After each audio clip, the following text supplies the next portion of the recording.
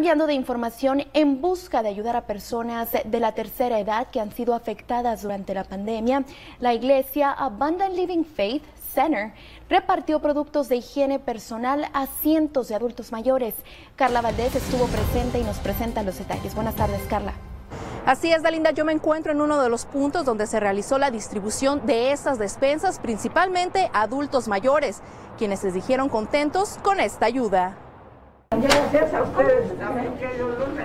Con palabras de agradecimiento como esas e incluso lágrimas, así fue como adultos mayores de uno de los 17 centros de la Autoridad de Vivienda Pública del Paso daban las gracias a voluntarios de la iglesia Abundant Living Faith Center, quienes durante la mañana del sábado entregaron bolsas de higiene personal. Abundant fue y hizo encuestas con los residentes para saber qué eran los artículos que más necesitaban. Por lo que durante varios meses miembros de la iglesia trabajaron en este proyecto con el cual lograron juntar poco más de 2.000 bolsas que incluían mascarillas, antibacterial, jabón, entre otras cosas.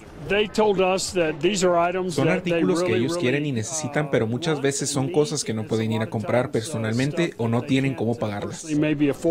Algo que fue agradecido por las miles de personas que pudieron recibir un poco de ayuda en estos tiempos difíciles.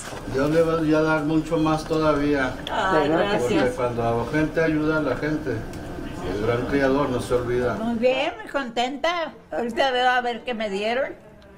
Este es el primer evento que la iglesia y sus feligreses realizan después de la llegada de la pandemia, algo que aseguran les llena el corazón de felicidad. Ah, me siento feliz haciendo todo esto porque cuando los ah, las personas abren la puerta, se los ve en, la cara que están bien ah, contentos que nosotros estamos haciendo esto para ellos. La iglesia no descartó que ahora con la disminución de las restricciones por la pandemia se realicen más eventos como este. Reportando para Noticias, Univisión, Carla Valdés, más tiempo contigo. Muchísimas gracias, Carla.